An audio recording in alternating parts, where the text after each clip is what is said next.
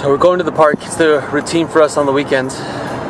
Hopefully the baby stops crying. She doesn't like being in the car too much.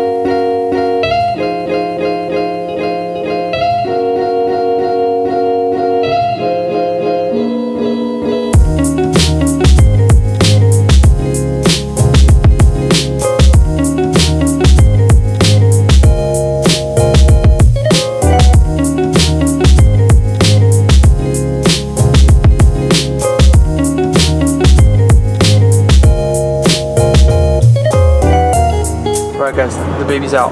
Gotta go to Costco now to get something. So I thought I'd take this time since we were on the road to talk about the channel a little bit.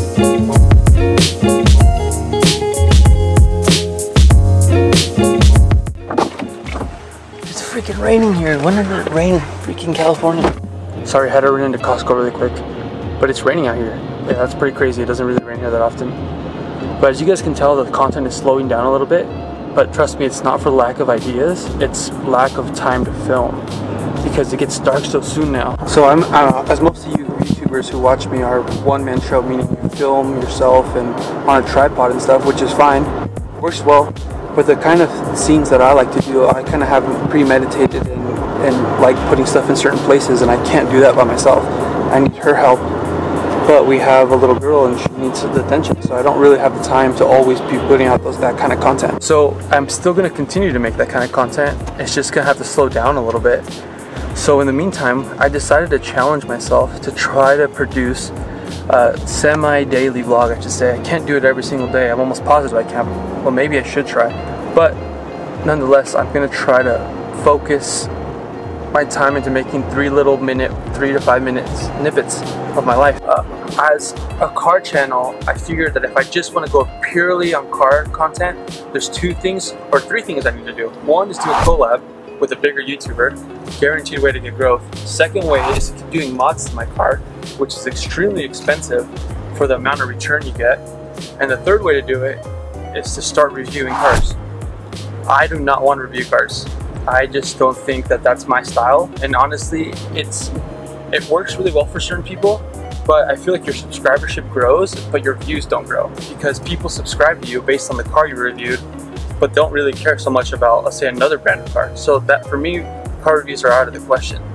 Wait, hold on, I need to get something real quick.